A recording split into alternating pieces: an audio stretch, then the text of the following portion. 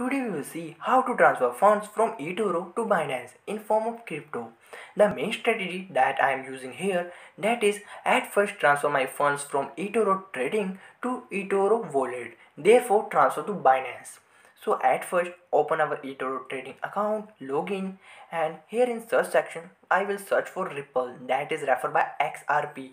Now enter the amount about which I want to transfer. For instance I want to transfer 50 euros and successfully trade for that particular crypto that is Ripple.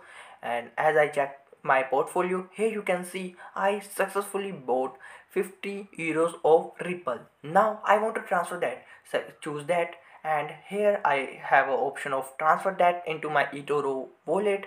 Now successfully transfer that request. Keep in mind this step takes 1 to 2 working days to transfer your funds from trading to wallet account as after that as we successfully open our eToro wallet we can find some cryptos that we received our in our wallet. That is our ripple that we proceed our request. As now we have to open our binance click on deposit section and choose our ripple wallet receiving address.